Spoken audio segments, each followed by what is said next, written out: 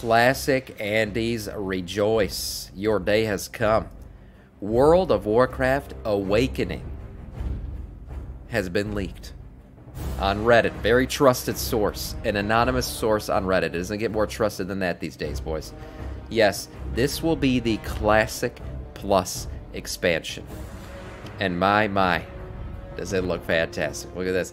First of all, this is the first Classic Plus expansion. You will be charged. This is the most probably accurate part of this whole thing. Blizzard will be charging a box price for a Classic expansion. That's right.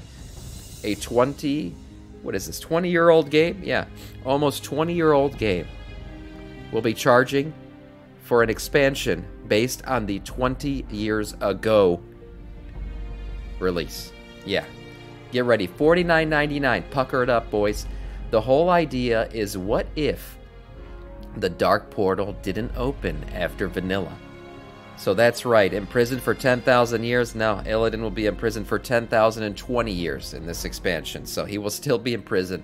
The Dark Portal never opens, and uh, none of that ever happens. Yeah, Chris Metzen is the main head behind this project.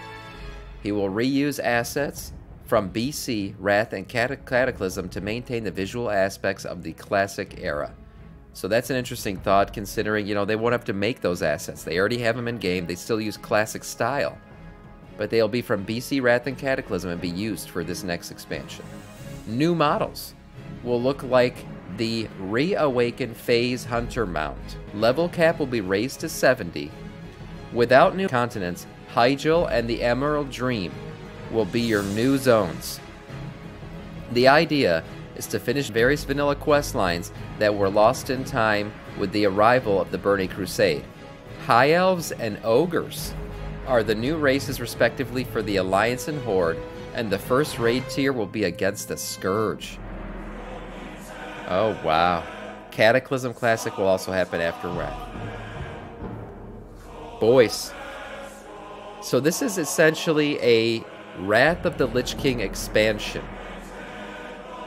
But never moving on to Northrend. Just doing it in the in the current world. Yeah. This is an interesting one. So essentially, you'll be using Wrath of the Lich King, BC, and Cataclysm visual aspects to fight against the Scourge. Now, the Scourge it doesn't have to be from Northrend, right? We know that the Scourge will be happening. They infected, uh, you know, an entire city that had to be purged by Arthas.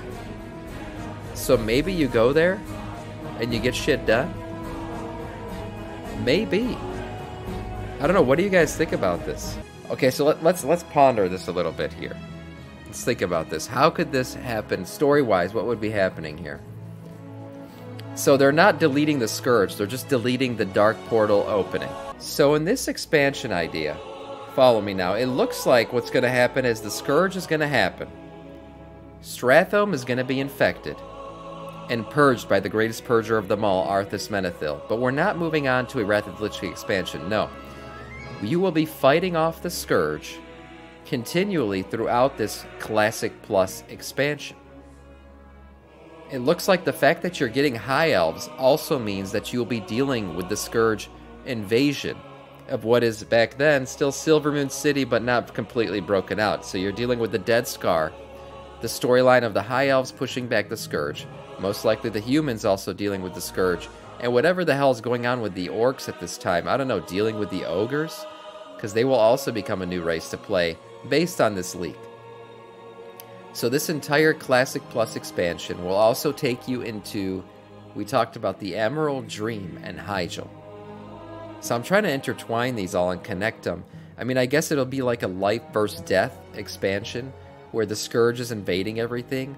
You know, they are essentially death but then you have Hyjal and the Emerald Dream representing life. And uh, it's an interesting thought. Not something I'm too into. Chad evidently thinks it sounds like crap, but there are a lot of retail Andes in my chat, so who knows what that means. I'm interested to see what anyone who is who has wanted a Classic Plus expansion thinks about this. I want to see comments from people. Do you get excited at the thought of a Classic Plus expansion based on what looks like the Scourge. It's, I think it's called Wrath of the Lich King, but here it'll be called uh, Awakening. Yes, Awakening. Now, what are we awakening? I'm not sure. I'm not sure. Uh, Arthas cannot become the Lich King in this because, you know, then we're playing Wrath of the Lich King. He has to go to Northrend to do that, and we're not going to Northrend this expansion. We are simply staying in the current world and dealing with current zones. Uh, it's it's interesting. Again, the raid tier will be against the Scourge. It's an interesting idea, guys. It's an interesting idea. Uh, again, the most true part about this is the $49.99 price, although I think it would be more than $49.99. It'd probably be $60. And there would be some kind of, like, you know, extra additions that crank it up to a $100. You know, get yourself some extra skins and shit because Blizzard loves doing that and packaging and Hey, maybe some Trader Stand or two. Why not throw that in there since that's being sold with everything on the store these days? Uh, but this is it, boys. World of Warcraft Awakening.